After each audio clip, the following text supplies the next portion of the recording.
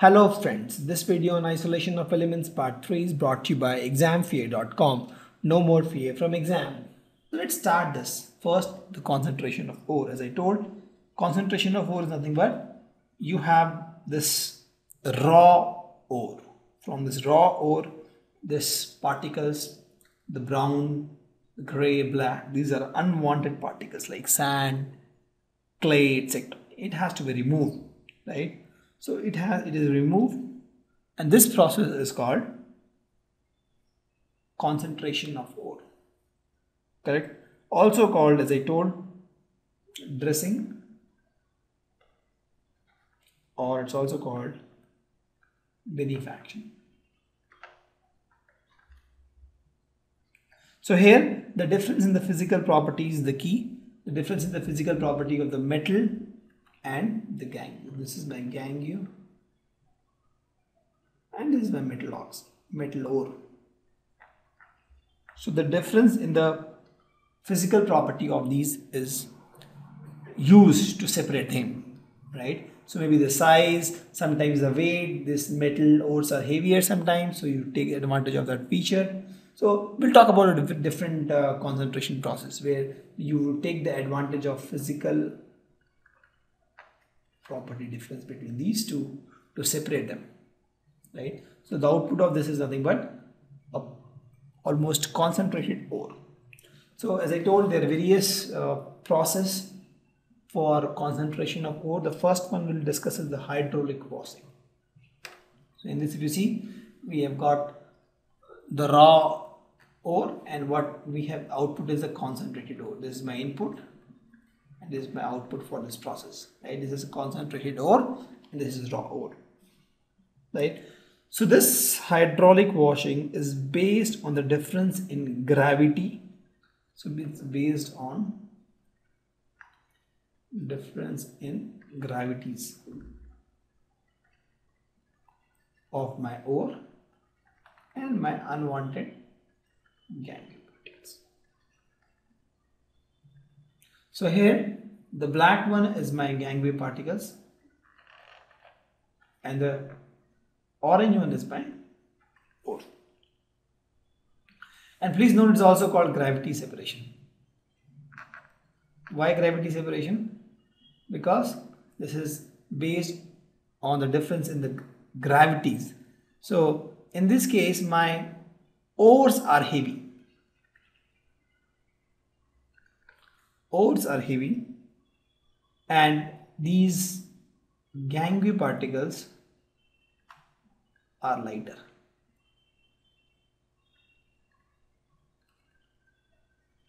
Right? So what we do is we have this upward stream of water. So this stream of water is used to wash the powdered ore. This, this ore is nothing but a powdered ore. We powder it so that you can easily separate more and more uh, gangue particles right? So if you see the lighter gangue particles it will float. So if you if you put more and more water from here in this direction from the water will flow from left to right right? If you see water will flow from left to right correct? But this gangue particles are lighter so it will flow off with the water.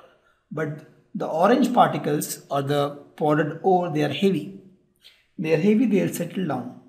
And you see in this kind of structure right this zigzag structure they'll settle down and they won't move. Because once it's settled down and there is a slope here upward slope you need more and more pressure to remove these particles. So it gets stuck here. But the gangue particles the blackened particles will move with the water stream. Right? And thus the lighter gangue particles they'll be washed away and the heavier ones that, is my powdered ore the orange ones will be left behind right? So with this what happens is we can easily separate. So what we need is more and more orange ones and the less and less black ones. The black ones are washed away because they are lighter and orange ones the heavier ones that is my powdered ore is something which is left behind and we can then collect them. This is the first way the second step is again magnetic separation. Here also the input is my raw ore and the output is my concentrated ore. This is based on the difference in the magnetic property.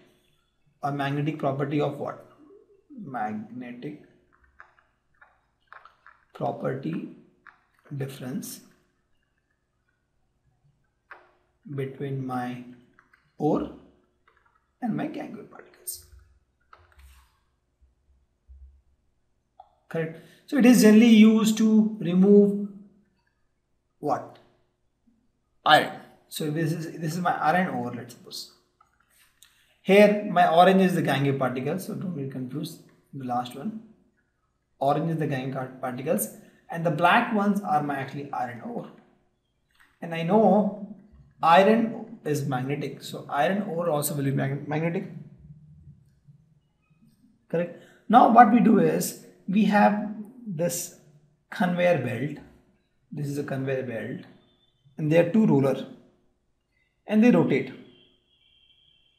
This belt is all magnetic, right? And there's a funnel from this. You keep putting more and more raw iron ore. Now what happens is, if you see here, since this is spinning, there's a speed here, right? So this orange particles, just because of the physics now, it will be thrown in this bucket. But the black particles, since they are magnetic, they're attracted by this belt. Since they're attracted by this belt, they'll be collected here. Right? For this orange particle, there was no force of attraction in the orange particle and this conveyor belt. So just because of physics, this orange particles went in this bucket.